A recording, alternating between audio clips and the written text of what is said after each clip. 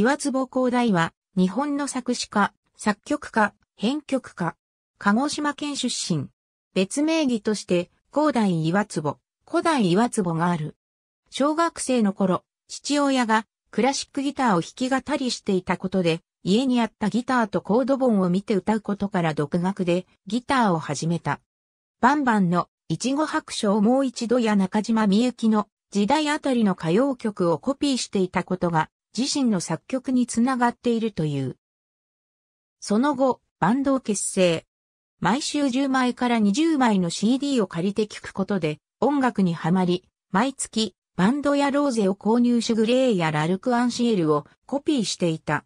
音楽で仕事をしたいという思いがあり、ティーンズミュージックフェスティバルに参加し、全国大会に出場。これをきっかけに上京。どこにデモテープを送っても連絡をもらえず、バンドは1年弱で解散。次にスタジオミュージシャンを目指すも、上には上がいることを知り断念。また、ギタリストを志すもうまくいかず。もともと一緒にバンドをしていた友人に相談し、作曲の道に進む。2009年より作詞、作曲家としての活動を始め、J-POP やアイドル、アニメソングなど幅広いジャンルの楽曲提供、プロデュース、アレンジを行う。